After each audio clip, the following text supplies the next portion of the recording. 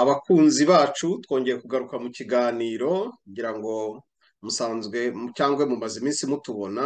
Njye nitwa Gatete Olivier imbere yanjye murahabona gasuku.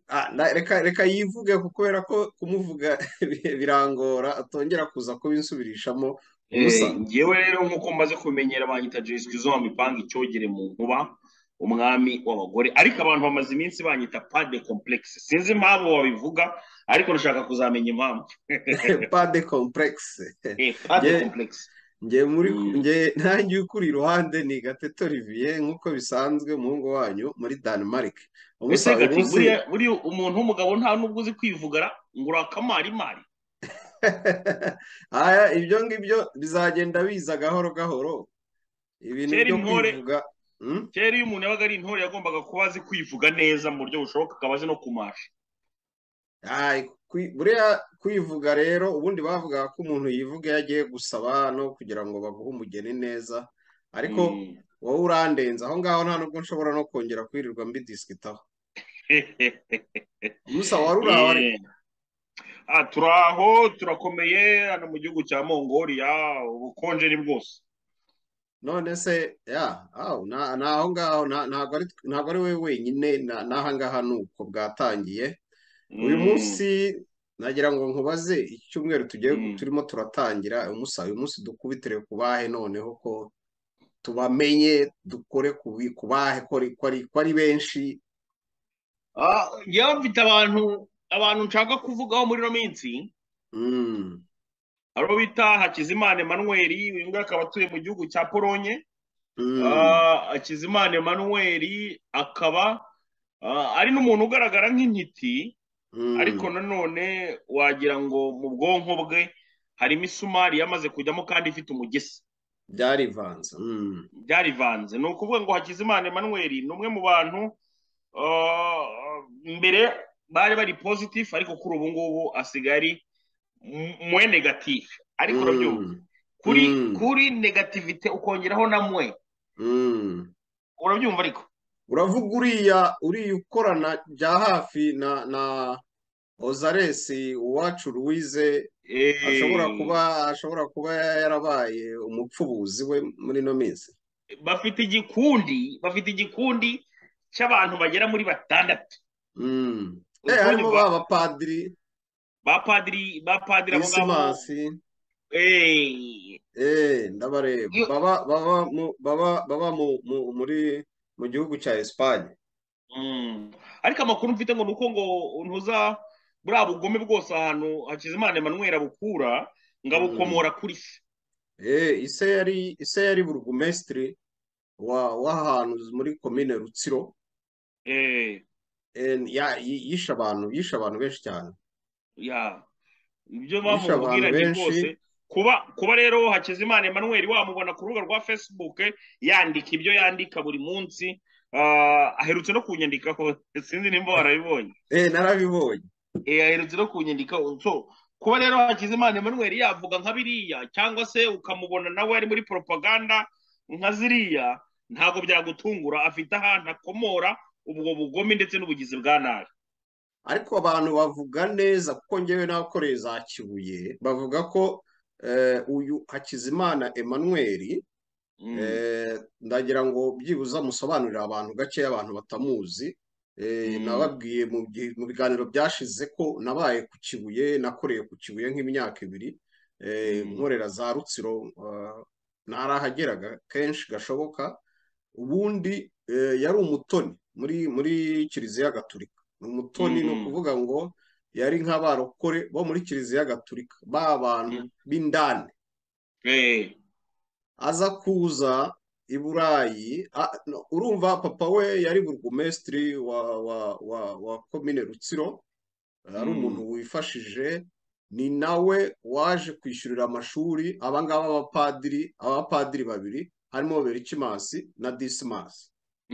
Aba bapadiri baba muri esipanye ni abapadiri babandi babandi b'intagondwa ariko niba ngo intagondwa wumve ngo ni intagondwa nibo bashinzwe kurekirita abantu bashyashya bose baje i burayi bashaka gushyira muri mu bigarasha nta nubwo navuga ngo ni ibigarasha muri ideoloji y'interahamwe yego. Asa papa w'uyu nguyu papa w'uyu nguyu hakizimana emmanuel ni we wabishyuriye amashuri. Bari abantu bavuka muri mafamiye nyine ngo ari aho ngaho akennye atifashije. Noneho ageze i burayi yaje aje mu gihugu cya polonye muri gahunda ngo za za za kiliziya gatulika yego. Uyu mugabo afite afite ibikorwa byinshi cyane bikomeye ngo bikomeye mu rwanda afite amazu afite ibiki ngira ngo mu kiganiro cy'ubushize abantu bagenda bakakireba twarabibabwiye. Noneho ageze hano ngo mu burayi aba ngaba baramwegereye. Barambwira bati ntabwo ugomba gusubira muri kiriya gihugu tugiye kugushakira impapuro ku buryo uguma hano. Ariko nk'umuntu utari ufite ikibazo na kimwe mu rwanda abona sisiteme ukuntu yubatse abona ukuntu ngo igihugu kirimo kiriyubaka abona amajyambere abona ibintu byose abona ko nta kintu anenga leta y'u rwanda arabwira ati ngewe ibi bintu murimo murampa ngo mvuge kugira ngo mbone ibyangombwa bya hano nidekarara ati reka reka ntabwo bihura ngewe sinshobora kubyemera. Arabatsembera. Asubira mu rwanda.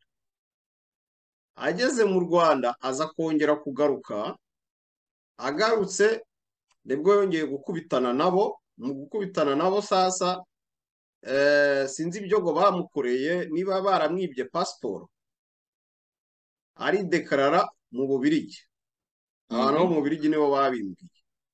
Mu bubirigi barangije baramutwishuriza arambwira bati reka ibintu urimo uravuga nta nta cumi na kabiri nta rimwe na kangahe bifite. Nta gahunda bifite. Nta gahunda bifite nta turabona bitumvikana.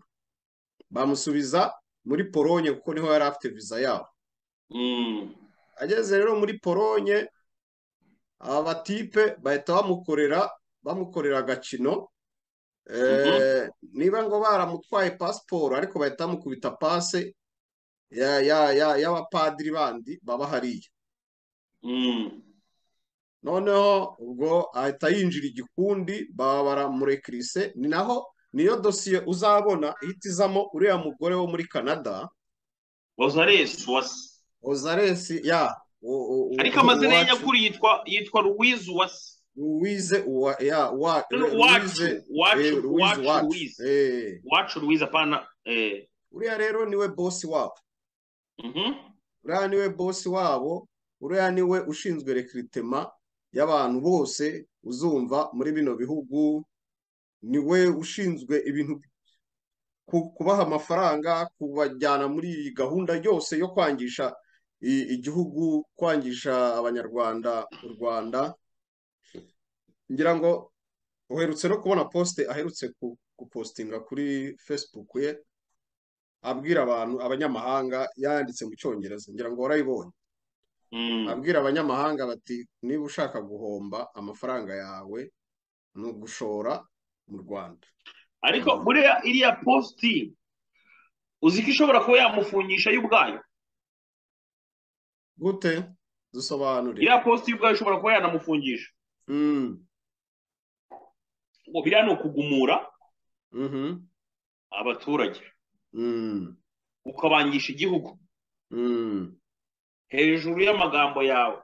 Ariko nyine we nk'umuntu uba hanze aba yumva ko ntacyo byamukoraho avuga ati n'ubundi kamamba yabaya n'ubundi. Icyiza ni uko yabyanditse mu rurimi rw'icyongereza. Uri kumva? Biriya kubitanga rero nka raporo ko nanjye yavuze ko ngo yamaze kundega biriya nanjye kubiripotinga ni ibintu byoroshye cyane. Yesi ariko icyiza ni uko hari abanyarwanda benshi batajya baripfana wabonye umuntu wamwandikiye aravuga ati buriya birantangaza cyane kubona politike abitwa ko bari muri opposition b'abanyarwanda. Ati dufate urugero rw'i bugande i bugande ni ho hantu haba opposition iteye ubwoba. Yayindi igenda ikarwana ikarwana na leta ikarwana n'ibice byose. Atari ko ushobora kuzumva na rimwe batuka igihugu cyabo cyangwa basebya ubugande. Basebya ubuyobozi buriho bagasebya sisiteme uko ikora bakarwana na yo n'ibice. Ariko ntushobora kumva bavuga ngo bazanemo igihugu cyabo. Kuko igihugu gihora ari igihugu. Kandi uriya mukobwa yitwa ko ngo ari umunyabwenge ngo ari umwanditsi w'ibitabo ko ari umuntu wize ngo usobanukiwe ukibaza ngo Mm. aba bantu dufite none se umuntu wize asa nk'uriya nanjye ni cyo nibaza ni cyo nibaza gaso Mm. Hmm? Mm. buri Uyu- muntu wize kugira ngo abantu bemere ko wize ni ubwenge ukoresha Mm. kumva bagahita bavuga ati eh runaka yarize yasoma kubera ubwenge nyine bamubonana hanze aha ngaha ngaho Yeah. genda urebe byonyine n'uburyo yandika icyo cyongereza ugende urebe uburyo yandikamo. Mm. ubwabyo utarinze kureba ibimuva mu bwonko uko bimeze by'amacakubiri ndetse n'ubugome ndengakamere urebe Mm. gusa ibyo yandika ukuntu abyandikamo. Aya uyu mugore ateye ubwoba. Uyu rero ni we ni we waje ku- ku- kurekirita uyu Hakizimana Emmanuel. Mm. aramuhindura ku buryo batumye ata umuryango we mu Rwanda. Araza arahobagira ashaka ngo umugore w'umuzungukazi bivaho ashaka umunyarwandakazi biranga urumva Mm. akaba ari aho ngaho arimo arahobagira muri ibi bintu bya Mm. bya bya byo- navuga ngo by'ubuhezanguni cyane cyane ko uyu mugabo ngewe mbona hari n'igihe abashuka rimwe na rimwe kubera ko afite ibikorwa byinshi cyane mu Rwanda Mm. byinshi ni ukuvuga ngo araheza inguni ak- akabereka ko ari kumwe nabo ariko mu gihe we anakora n'imishinga mu Rwanda. Kuko warabonye ko byaranamubabaje cyane maze kumuvumbura nkamushyira hanze Mm. byaramubabaje cyane. Eh, yandika inzandiko nyinshi cyane. Eh, turaza kubyereka abantu kugira ngo ba- ba- ba- ba- babimenye batagira ngo uze kugerageza ibishoboka byose. Mm. unashyiraho amafoto ye n'ibyo ajya avuga buri munsi kugira ngo tuzagira ngo umuntu apfa kuzana gusa umuntu amutoraguye hirya no- hirya no hino. Mm. Abantu Eh. bajye bamenya abantu ko uyu nguyu uyu ni bya bindi twavuga ngo tubamenye uyu Hakizimana Emmanuel ni mwene bene Imana Raphael. Raphael uyu nguyu yari burugumesitiri wa komine eh, Rutsiro. Abantu bagende ba- niba hagira hari uduhakanya bagende babishakishe urumva. Afite n'abavandimwe be barahari urumva. Uyu nguyu bya- byatunguye abantu cyane ibi bintu yagiyemo kuko yari umuntu nta muntu n'umwe ubyemera cyangwa ngo abyumve ko ibi bintu yabikora Mm. Hmm? rero ariko kubera kugenda ukagwa mu gikundi kibi aba bapadiri abapadiri foke abantu babamenya Mm. abapadiri nibo bashinzwe rekiritema hano mu burayi yo yo Mm. yo yi- yi- yi- y'interahamwe n'ibigarasha no guhindura abantu mu mutwe bakaba kugera ubwo bashobora no kwambura ibyangombwa cyangwa bakanakubwira bati twe turakwishyurira amezi atandatu. Mm. urumva? Ati amezi atandatu kabisa turakwishyurira urumva? Ibintu byose utikoraho ariko uze utujoyininge ubu uwacu uvuga ibi n'ibi urumva? Uyu mugabo Mm. rero Hakizimana Emmanuel ubu ngubu akaba aherereye muri na I mean Ubu muri muri Polonye nako sorry yavuye polonye oya ari muri muri Polonye sorry nari nibeshye urumva ari muri Polonye urumva Mm. ni ho akore gukomereza bino bikorwa bye eh, Mhm. ari- nyuma yo kuva mu Bubirigi ubundi yabanje kuba mu Bubirigi Mm. eh, urumva bya bindi bya Kiliziya Gatolika yabagamo yabivuyemo byaramunaniye nuzi ko yashoboraga no kuba umupadiri ariko byaramunaniye ubu yibereye mu bintu eh, byo gupfubura nduzi ko ari ugupfubura. Niwe upfubura nuza- nuza suriya ah, uwacu. Louise amva urumva se byabura. Ase ko Louise nawe numvise ngo ibintu by'ibikokayine byaramwishira. Ujye ureba ukuntu areba. Ni nk'impongo ndagashaka niko. Nawe mbwira. Areba nk'impongo niko mbwira. Aba bantu rero ni igikundi ni igikundi gikomeye. Ni igikundi gikomeye kuko eh, urumva bafite network kuva muri Canada uburayi eh, hano mu burayi ho ni igikundi kinini cyane kinini cyane. Eh, sasa uyu mugabo nagira ngo eh, tubigarukeho neza. Uyu nguyu aragenda na- twabibabwiye ko aragenda agahura na bano bapadiri babiri. Bano bapadiri babiri ko nibo bishyuriwe na papa we urumva?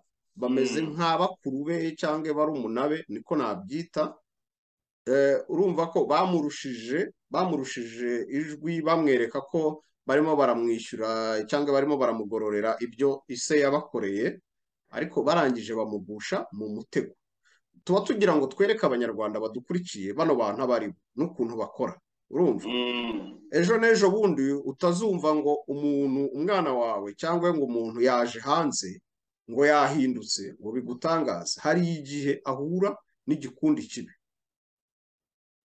Urumva? Hari igihe agenda akajya mu gikundi icyo gikundi kikaba ari cyo kimujyana mu bintu eh, we atana- atanatekerezaga ko ashobora kubyisangamo noneho bakamwereka ko nta bundi nta nta imbere he nta handi ha- harazitiye hararangiye. Iyo rero udashyizemo ubwenge bya bindi byawe ujya ubabwira. Iyo udakoresheje ubwenge ngo ubashe kuva muri ibi bintu Mm. birakugora. Birakugora. Uko niko kuri kabisa. Ese ikigore bita mukashema korodine urakizi?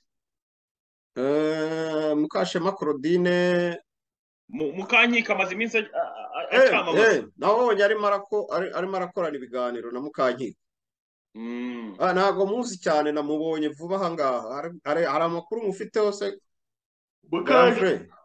mukashema korodina Mm, ni rw'urugore rw'urudebire ruri aho. Mm, urumva ejo ni bwo mukankiko yivugiye ubwe. Urumva yes. mukankiko ubwo wenyine ni bwo yivugiye ati kiriya na cyo ngo na cyo kiri mu bantu bari guteganya kuzafata u rwanda koko? Reka da tuzi ko mukankiko hari igihe asara byose akongera akabituka? Akabishyira hanze. I- ejo rero ejo rero yaracyandagaje. Mm, niba kitari cyabyumva ahubwo noneho sinzi. Baraza kuza kukigenda ko nabonye bose ari abasazi kimwe. ese umusaza Hmm? bite ko mbona nta kuraje bite bimeze gute mbwira Aya, ntabwo ngo utuntu tw'udutotsi totsi turimo turagenda tumfata ukuntu? Mm.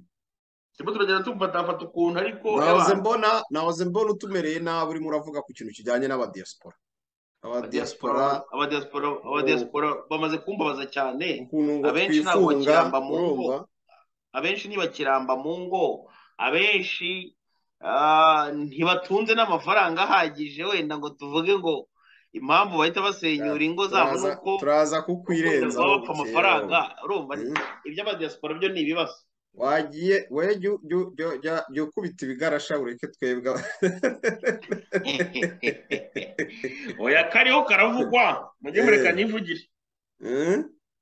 akariho karavugwa sasa njye mbwira mbwira uriya uriya njye nkeka ko biriya bintu eh, eh, yatangiye mukankiko ari ukugira Mm. ngo bariya batekingo ova gahoro gahoro cyane cyane ko we yivugiye neza ko ibi bintu bimunaniye amaze gutsindwa. Narabikubwiye ariko n'ejo n'ubundi naramubonye muri komenti zanjye yuko polisi ziramurembeje Mm, polisi zo mu gihugu cya Denmark ziramurembeje sinabikubwiye n'ubushize neza mwabonye na reaction ye. Kubera kuri aracuragura eh kubera ko aracuragura rwako n'ukuntu aba ahunyiza nk'igihunyira ngo. Ariko uzi ko unyibukije akantu? Cya gikundi cy'abapadiri twavugaga kirimo berekimasi na disimasi Mm. uzi ko habamo na musaza wa mukankiko Eh, habamo na musaza wa mukankiko uba mu bubirigi witwa gilbert. Mm. nawe abamo. Ni igikundi kinini cyane urumva? Ese ni ukubera iki? Bano bapadiri babayeho ku bwahabyara. Bakomeje iyi gahunda yo kwiba mu bantu mu rwango ndetse n'amacakubiri no gupfobya jenoside yakorewe abatutsi. Ah, umbajije ikibazo cyiza cyane reka nkubwire. Urumva nanjye iki kintu umaze iminsi nkibazaho aho kugira ngo bi- bigishe ivanjiri bigishe amahoro nyuma y'ibintu byabaye mu rwanda nyuma y'ibintu byakorewe mu nsengero twese twasengeragamo birababaje birababaje kubona aba- aba- aba- abapadiri ari bo bakomeza kubiba amacakubiri aho kugira ngo bubake abantu imitima Eh, ni, ni, bigaragara ko ari ikintu ni ikintu bonse. Ni ikintu bonse ari na cyo bashaka gukomeza gutamika urubyiruko gutamika urubyiruko uru- ni ukugira ngo ibyo batabashije gukora cyangwa ibyo batabashije kugeraho. Mu gihe cyabo mu gihe I mean mu gihe cya jenoside cy'itegura rya jenoside no gushyira mu bikorwa noneho urubyiruko abatoya bari mu nzira bazabasha ahari kubisoza. Ngewe niko mbibona kubera ko abantu biyambuye imyenda biyambuye imyenda y'ubupadiri bambaraga bamesa kamwe baravuga bati reka duhinduke interahamwe ku mugaragaro. Birababaje cyane. Nk'uko ikintu ubajije ni cyiza vurema nanjye maze iminsi nkibazaho nkavuga ariko ibi bintu ni ukubera iki koko? Bakabaye bahinduka. Oya niko bimeze byo kabisa. Ariko natwe tugire tubahagurukire nk'uko barimo barahindura sitarategi zindi. Tugire duhaguruke tubakubite biteye ubwoba. Bazanye sisiteme ngo yo kuvuga ngo ku mbuga nkoranyambaga. Ku mbuga nkoranyambaga turaho abaturikije. Na barashaka iki kindi koko? Noneho bagize n'ubwoba batangiye ngo ngo ngo kwandikira za twita ngo ngo batuburokeshe oya twe turi ibikoko barabizi ko dukubita hose. Ubundi ubundi reka nkubwire. Ubundi iyo uri indwanyi indwanyi inyandwanyi ntabwo ujya kurwana no kujya gutabaza ngo amahanga cyangwa ngo ibice n'ibice ngo mumfungire ngo uno muntu ngo kubera ko niba wemera freedom of speech kubera icyo ushaka gufungisha ama akawunti y'abantu wahagaze hamwe mugahangana mu magambo niba ubishoboye kuvuga ko ari byo ushoboye harya wowe umusa we ntabwo barayifunga akawunti yawe ra? Mbizi impamvu wenda bategereje kubikora. Kumva ntabwo ziba zirinzwe cyane wenda bya danje ariko ntibarayifunga ariko wowe ntabwo bagushobora rega wowe. Biriya birwa ko bisaba nyine kuripotinga baripotinga uwitwa ngo zaresi wacu yarabigerageje ejo bundi kugeza n'ubu ngubu videwo yavugaga ko yavuyeho ziracyariho ni videwo ebyiri kandi ntabwo bibuza n'ubundi gukomeza kumuvugaho kubera ko sinzigera nanacogora mu gihe atarahinduka. Ariko wari uraho.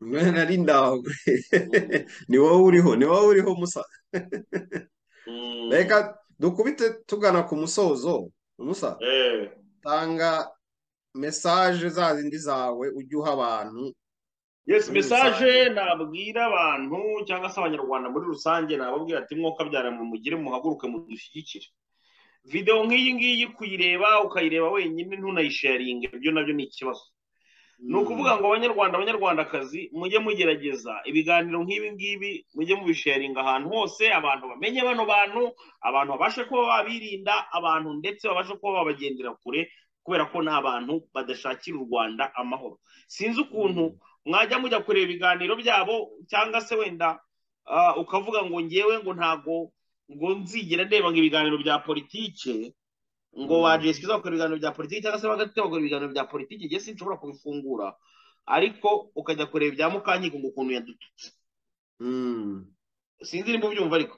Ndabyumva cyane. Mwuka byaramwe n'ubundi gufungura linki ni uburenganzira bwawe nta n'itegeko riba ririmo ariko nuzajya unayifungura ujye ugerageza unayisharinge n'ahandi hantu abantu bamenye bano bantu tuba twavuzeho kubera ko ni abantu babi cyane. Urakoze cyane umusa urakoze cyane gasuku nge nagira ngo ngushimire kandi nako nshimira abadukurikira ari nako ngira ngo twibutse ndabizi wowe ntabwo ujya ukunda abantu ngo bajye barakora subscribe cyangwa babireke.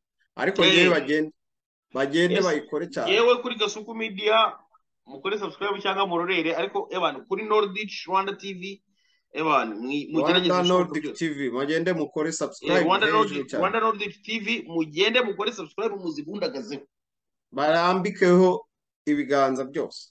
Niko bimeze. Nagira ngo ngushimire cyane ku kiganiro cyiza tugiranye. Ari nako nibutsa abadukurikira ko ari akagaruka. Iki kiganiro cyari tubamenye twagikoze mu buryo bwo kwisanzura. Ubutaha tuzaza tubaha amakuru neza neza arambuye tuva imuzi n'umuzingo aba bantu baba bagerageza gushaka guharabika igihugu no kwerekana isura mbi y'igihugu mu ruganiro mpuzamahanga cyane cyane nk'uyu mudamu ozaresi we arakabije ku buryo buteye ubwoba. Urakoze cyane. Nagira ngo ngushimire. Gasuku urakoze. Asante sana.